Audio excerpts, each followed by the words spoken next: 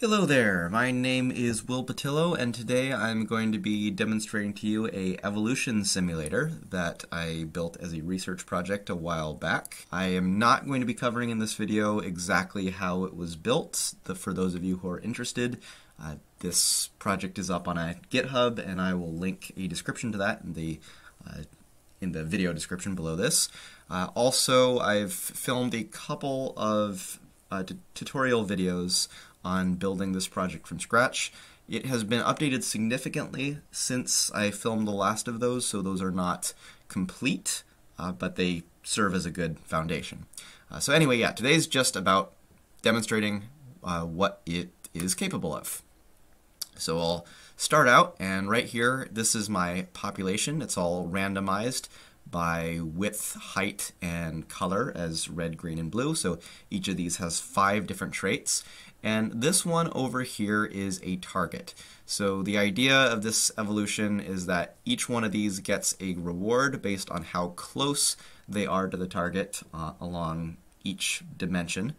And the most fit individuals uh, pass their traits on to two of the next generation, and then the least fit individuals don't pass any on. So if I just run this, I can see each generation they're changing a little bit and pretty rapidly get close to the target. They're a little bit off, they're taller than they are wide, uh, but every once in a while they get a little bit closer. Here and there you see these little mutations and most of them just die off. Now I can see if I change the target, then they will gradually move to that new shape. See, they gradually get wider, and then there's a sudden change for uh, getting that color right. And every once in a while, they'll just get a little bit closer. Change the target again, and there you go.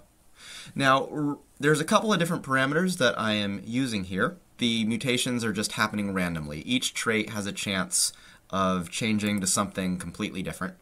And when a mutation happens, the end result is, is completely randomized. Uh, there's another option I can change right here from random mutation to drift, and I'll randomize the population a little bit at the beginning. this one, instead of each trait most likely staying the same and having a chance of changing to anything, uh, each trait instead will drift a small amount up or down um, and there's limitations on, on how far it can drift. So right now I'm using a the maximum drift amount of 0.01. Uh, if I change this, say, to 0.05, then you're going to see it change a lot more dramatically. Um, you can see the larger the drift amount is, then you get a lot. They get to the target much quicker, when there's a wider drift. Uh, however, they don't get they don't stay quite as close to the target. Uh, so right here you can see a, a, pretty good variation in amount of color and the exact shape even after they've basically reached it. Uh, whereas if I use a drift amount back down to say 0.01, uh, now they move towards the target much slower, but once they get there, they are much more uniform. I can set a similar kind of um, trade off in how quick they get there versus how stable the end result is if I go back to random mutation and increase the mutation chance. So say instead of 0.005, I go to 0.05 and now I change the target and now, yeah, I'm back into the random mutation form of evolution, and now you can see it reaches the target much quicker, but it's still kind of chaotic uh, even when it gets there. Now, one other variable I can work with here is right now it's the top 50% pass traits along to two in, uh, two children of the next generation. I can change it to heavy selection pressure, and in this case, the top 25% will pass their traits on to um, four of the next generation. And I find whether the selection pressure is moderate or heavy, uh, to me, I, I'm not really seeing a very big difference uh, between them. Anyway, the next variable up here is the inheritance type. So right now, each individual passes its own traits down, but that's not how most life on Earth works, or at least most complex life. Uh, in you know, in the world, we use two different parents, and who combine who uh, combine their genes together, and the offspring gets a mix of both of those traits. So I can simulate that by uh, going with inheritance type of um, two-parent inheritance right here. And I can again use random mutation. Um,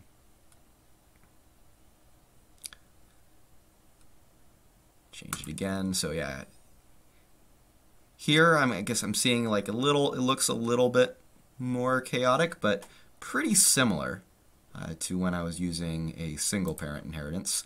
I can also go back to the drift form of mutation. And again, that looks kind of similar to the uh, single parent drift mutation.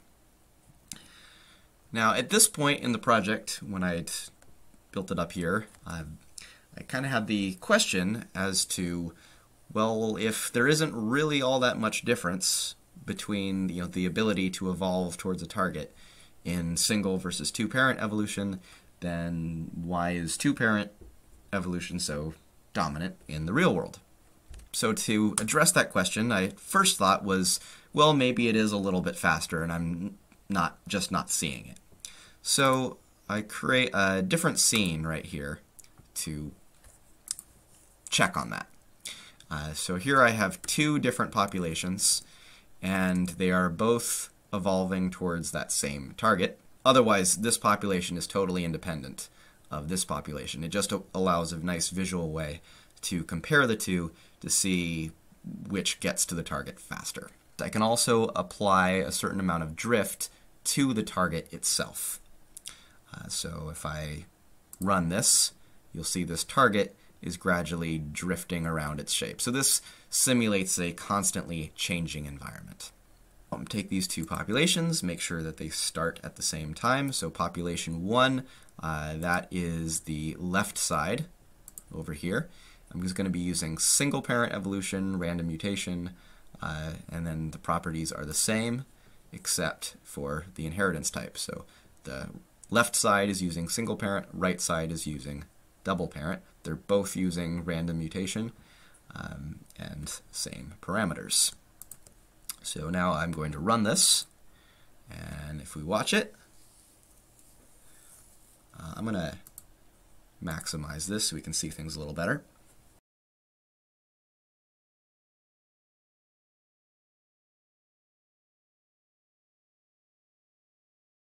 Well, you can kind of judge for yourself which you think is reaching the target quicker.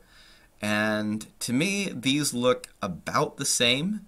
The single parent might be a little faster, arguably, although it's it's kind of it's hard to tell. Um, I can slow down the the drift of the uh, environment to make it make them easier to, to catch up. So it's only going to change once a second. And maybe a point, might be a slightly larger drift amount. Watch this some more.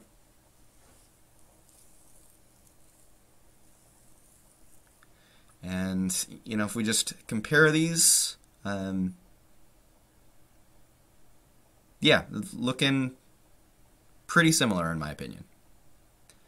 Uh, in terms of how close they are to reaching this target.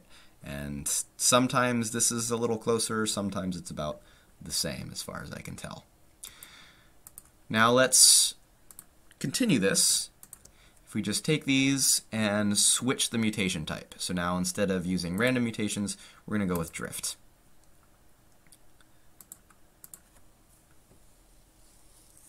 And I'm going to slow the environment way down. So now they're all trying to get to this green state. And they're both drifting. And they appear to be closing in at about the same time. Let's test it again. I'll just uh, change the target. And now let's see. Let's see them race. Okay, they're both kind of expanding out, changing color from green to this teal.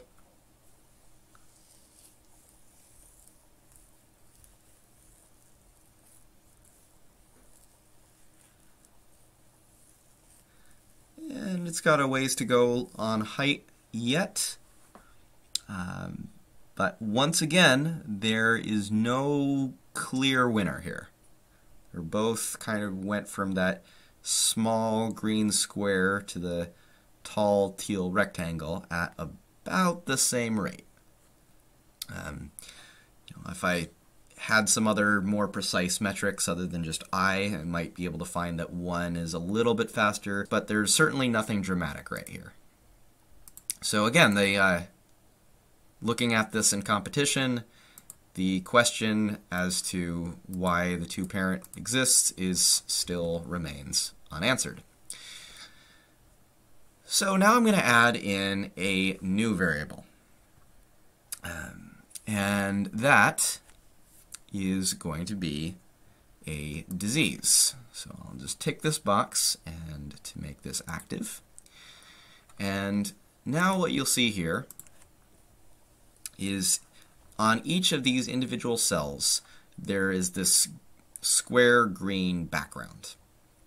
And what this represents is, um, well, for each individual in, in this population, the individual has its own uh, population or colony of germs that are living on it. And for each generation of an individual, the colony of 16 germs has four generations for every one generation of one individual. And the dynamic of the germ colonies is that they are evolving uh, using single parent drift mutation. Um, speaking of which, I'm going to switch these back to random mutation and change up the environment a little that they're what they're going for. So while the individuals are trying to evolve to reach the target, the germs are trying to evolve to reach the individual. And then the average fitness of the germs has a negative impact on the fitness of the individual. Uh, let's also randomize these populations, just for fun. And here we start to see a little bit of a difference. Um, so let's say if I deactivate the disease and get them, let them uh, evolve to get close to the target. And when I put it back active again, you'll see the effect. And this time what I want you to look for is how bright are the green backgrounds on the single parent versus the two parent. So a a lighter, brighter green means the disease is very healthy and detracting significantly from the individual's health, uh, whereas a kind of slightly transparent, darker shade of green uh, means that the disease is having trouble keeping up. All right, so they're all kind of closing in on that environmental target. Give them another moment. Okay, that's looking pretty close. Um, and right now, again, with the disease inactive, they're both reach the target about the same time. They get about as close, although there's a little more chaos over on the two parent side of, of um, unhelpful mutations that immediately disappear. Now I activate the disease, and initially the disease is super healthy on both sides. But now we see the difference. The on the single parent evolution, it's they're all staying at the target, and their disease is bright green. Whereas on the two parent evolution, they're changing all over the place, kind of staying together. Like the the change, see how they're all gold right now, and now they're all uh, gold rectangles, and in a moment they'll change to something else. I, here they are as white dots. They're constantly moving around, and because they're constantly changing, the disease is staying at a fairly dark green. Uh, because it's kind of like if this changes a lot, then the population has a hard time keeping up. Likewise, if the individuals are constantly changing, their disease has a hard time keeping up. Now, this raises the question as to what's going on. Uh, why is the you know two parent spliced evolution behaving this way, whereas the single parent uh, isn't?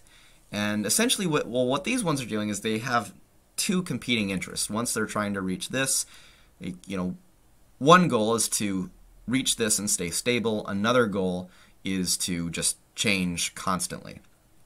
Um, and right now, with this slider right here, uh, this this essentially says that the importance of evading the disease is twice as much as the importance of reaching the target. I can shrink this down to say 1, where they're equally important considerations. And now you'll see operates a little more, little differently. Um,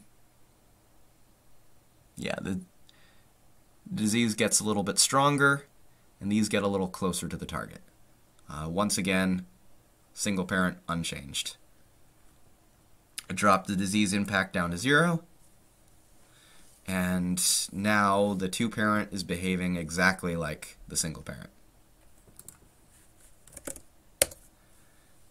So as as this slides around, the behavior over here changes to adapt to the new requirements, whereas these don't. My guess as to what's happening is that the single parent, you know, drops down, hits the local minima, and gets stuck there, whereas the two parent evolution, because it has a little more diversity and a little bit more dynamic, it explores a bit more, is able to get over this and then find the global minima, uh, which is this kind of balancing act that it's performing over here. Um, so that's my illustration as to that question I had about how evolution works. Um, once again, if you're there's a few other settings that I didn't really go over here because they weren't super illustrative of anything. Um, but if you're curious about playing around with this or digging through the code to see how it works, I, I have it all up on GitHub as I mentioned at the beginning. So hope you enjoyed this video. I don't forget to like and subscribe if you want to see future ones like this. Um, I may complete the uh, tutorial series if there's enough interest. But until then, thank you very much for watching, and I will see you in the next one.